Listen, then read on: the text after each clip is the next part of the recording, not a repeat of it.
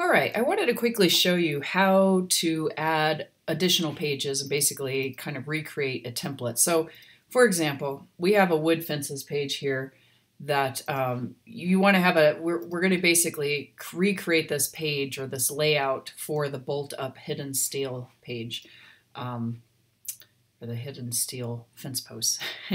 so the best way to do this, I think, is to duplicate the page. Um, because then it just kind of recreates everything and uh, it it um, you have a, a, starting point. So now this page is already created. So in this case, I wouldn't do this um, because if we duplicate it, this one already exists. We need to rename the du duplicated and so forth. Um, but I actually might go ahead and do that anyway. So I'm going to show you what I mean by this. So we're going to duplicate this, and then we're going to call this one the bolt up hidden steel posts page. I'm going to get rid of this one because we don't um, we don't need this one anymore. The second part of after you've duplicated a page is to go into the SEO settings and make sure that you customize this. So this one should be whatever it was. And actually, I want to make sure I name it the same thing because Google probably already has it indexed. And when you're when you you want to keep the same page name if you have the same page. So let's go there and make sure that I grab that right um, page name. Let's see, where were we? Can't really see it in my window here, but I'm grabbing this. This is the, the URL that I want to use. So I just want to basically match it. this is not a problem if you're creating new pages. This is only if you already have a page um, and I'm duplicating it uh, to create a new, you know, I'm replacing the duplicated page basically, or the, the extra page. So I'm going to call it this now. So we're going to say, uh, okay. And this is where it tells you, hey, if you change in the name of this, make sure to tell Google. Um, but in this case, we're replacing this page with the page I deleted, so we don't need to worry about a 301 redirect. Um, all right, so that's that. The other step is to make sure your title matches too. So put in the bolt up hidden steel posts. Installation, okay.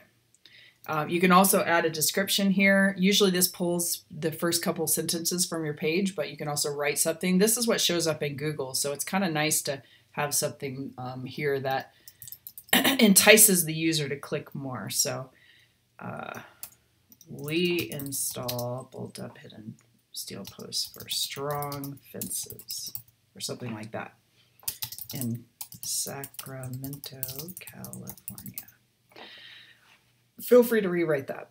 Um, but that's where this is. This is under the SEO. That's your URL. This is your page title. This is the uh, what the page is about. This is basically what shows up in Google. So you want to keep, especially when you're duplicating, make sure to to correct this. When you create new pages from scratch, it will automatically name them with whatever that you named it. But in a duplicated case, it always has that copy of. So now we're done with that. And now I'm on this page. To make sure you're on the right page, make sure you're here um, uh, on that page. Just check and make sure it says the bolt up. And then now you can put in here, bolt up, hidden steel posts. And I'm going to just say coming, coming soon. Um, including bolt up hidden steel posts.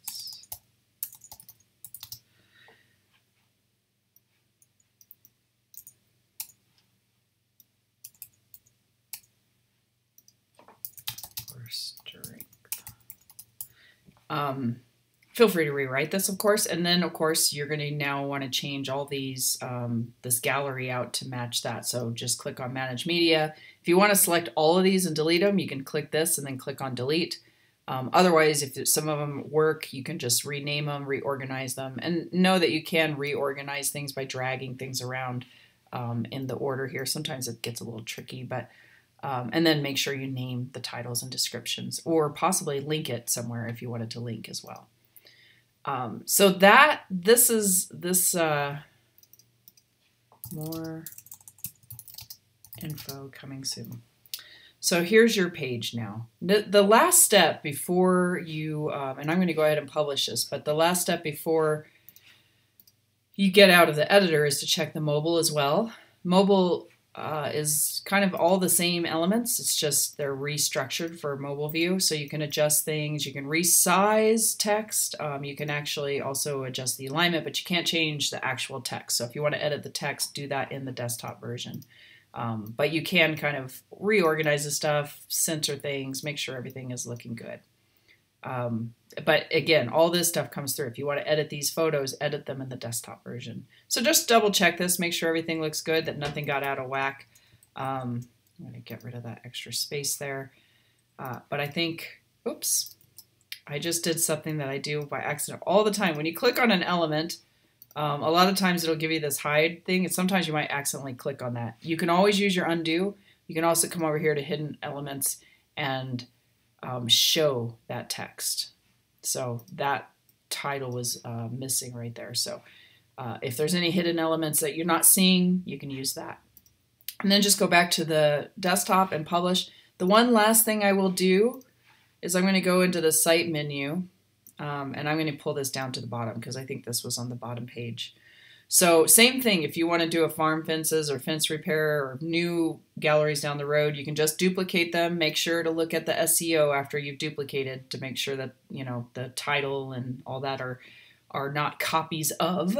Um, and then just go in and edit it um, as desired. You can also hide pages. So if you don't want this page to show up, like I have the farm fences and fence repair, you can just click here on hide and that'll make it take it away from that menu. Um, but down the road, if you want to show it again, you just click here on show. One last thing to look at is the main gallery page because we have all these types of fencing. Um, I don't have a block. Oh, no, we do. We do have this block. So just make sure this is linking to that page. Because I deleted the other page, it, it lost that link. So I'm going to choose the new one here. Um, and down the road, if you want to add more of these, you can duplicate these columns. So basically copy and paste and then drag it. Oops. Let's just duplicate it here. I'm right clicking on, oops, that's not what I wanted to do either. It's getting a little wonky. And actually this leads to me to my last Wix tip. Um, if things stop responding and you're starting to have problems in the editor, hit publish and then close out of your window because with Wix it always opens up a new window. Go back here, relaunch it, and that should fix the issues because sometimes it won't let you select on things or won't let you edit text or it doesn't give you a menu. And that often happens after duplicating pages or copying a lot of things and pasting things. Um, so if you run into that that's a solution. So when I click on this I'm going to right click on it um, or control click on my Mac and I'm going to click on duplicate. That creates another one of these that I can drag down here and then I can rename things. I do have buttons in front of these images or these texts so you have to kind of um, I mean this this text is a big button so you just double click on it change that. You can change where it links to. Then you can also click on the background and change that column background as well. Um, but we're not going to do that in this case we just have this. I just wanted to show you that uh, if you do add more pages down the road you'll want to probably update this those on this page as well and then make sure things are linking um, where they need to go and lastly, always check the mobile if you do any changes, make sure everything is looking good here. Um, for some reason, the mobile isn't displaying those background images um, in the preview here, but they do show up on the front end on phone, so I'm not sure. That must be just a minor Wix bug, but um, everything looks good here other than that, and uh, we're all good to go. So let me know if you have any questions, but now you have um, that same layout now on this bolt up hidden steel post. You can also copy and paste things from page to page. So you can select a whole bunch of things like shift select and then hit copy and paste onto a new page. I just find that duplicating is better because it retains a lot of that mobile layout. So it looks a little bit better on mobile than if you were to copy and paste things, which sometimes they can tend to be overlapped or it just doesn't look the same. Um, so I, whenever I'm creating new pages, I most always duplicate the page uh, because it gives you a great starting point and then you can edit it from there. Let me know if you have any other questions and um, yeah, happy Wix and hopefully uh, this will be easy for you to edit and um, you guys can keep it updated with new pictures over time.